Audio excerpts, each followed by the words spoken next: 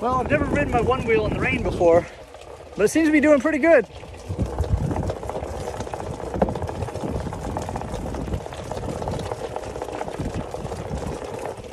Now just try not to fall.